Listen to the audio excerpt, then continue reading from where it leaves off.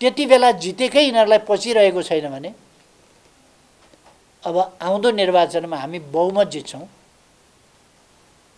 के गर्लान् बिचराहरू? म भनिदिन चाहन्छु।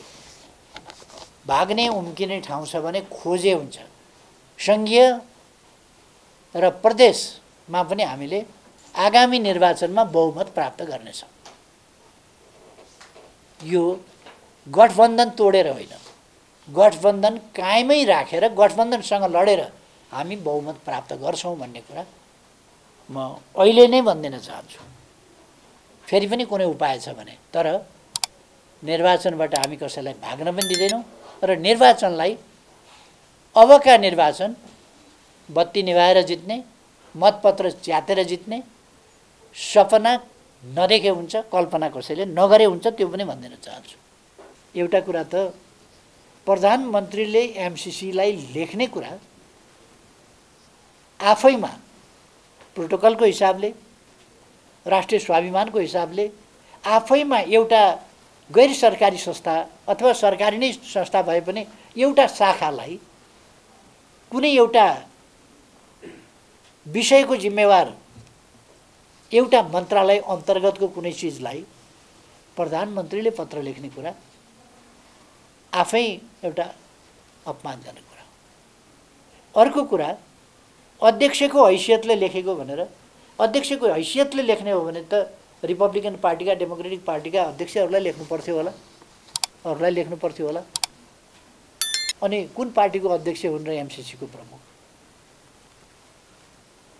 अर्को कुन कुन पार्टीका अध्यक्षले लेख्नु पर्थ्यो? गठबन्धनभित्र पनि दुईवटा अध्यक्षले लेख्ने कुरा अरू अध्यक्षहरूलाई थाहा छ कि छैन? थाहा छैन किनभने थाहा भए पनि नभए पनि उहाँहरूको बाध्यता छ त्यो गठबन्धनका पछाडि लाग्नुपर्ने। उहाँहरू त्यसमा त कुद्नु होला।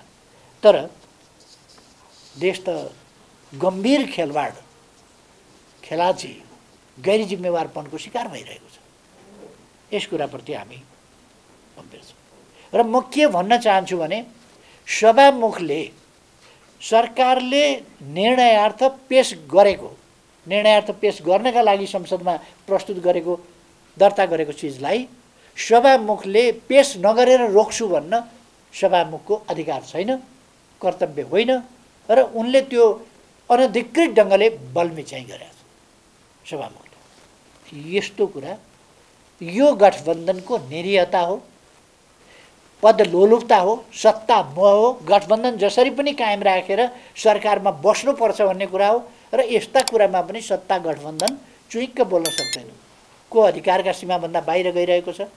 पहिले अघिल्लो सभामुखले त्यस्तै ढङ्गले अनधिकृत क्रियाकलाप गरेकै हो र अहिलेको सभामुखले त्यही कुरालाई जारी राखेको छ र अनधिकृत क्रियाकलाप गरेको संसदले के गर्छ त्यो आफ्नो ठाउँमा होला। संसदलाई दिनु पर्यो अधिकार। तर संसदलाई नदिएर रोक्ने कुरा उनको अधिकारभित्रको कुरा होइन